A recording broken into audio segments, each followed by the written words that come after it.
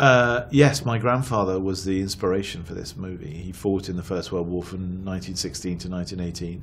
He arrived as a 17 year old.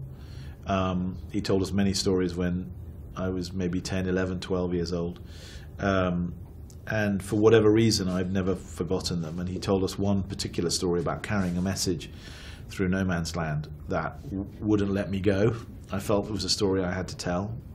Um, so I took that very small fragment and enlarged it, developed it, and turned the journey into a much longer journey.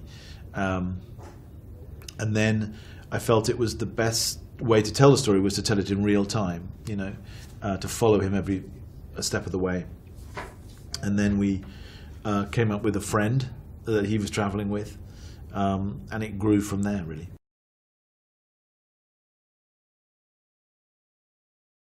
I decided to shoot it in one because I didn't want the audience to be able to escape. Um, I wanted them to be experiencing every second of the journey with the men, every footstep, every every you know hundred yards. I wanted them to feel getting closer and closer and closer, and I didn't want to um, feel like uh, uh, there was any escape. Um, and I suppose there was the biggest challenge was that in film, one of the nice things about movies is that you don't have to make some of the big decisions until after you finish filming. You know, editing, it's nice and calm. You got a cup of coffee. You can try this version of the scene and that version of the scene.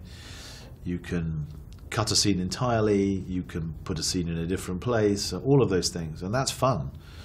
It's my favorite part of filmmaking. And in this movie, it didn't happen. I had to make all those decisions while we were shooting.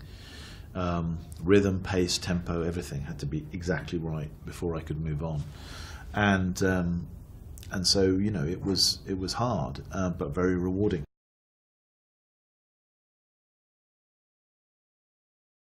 No, my, my way to direct actors is always the same. Is every actor is different, and every actor needs something different from the director.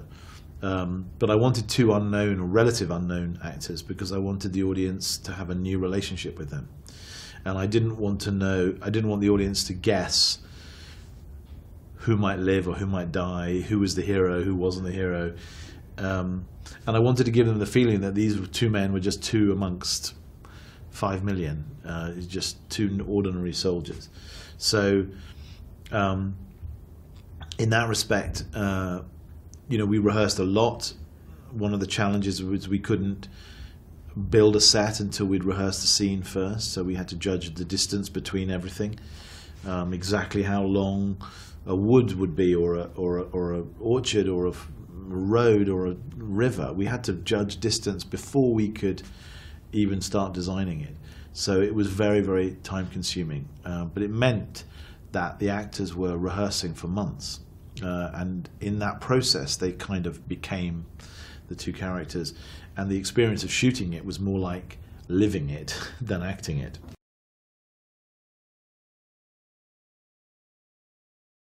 So I'm going to say this answer to the camera.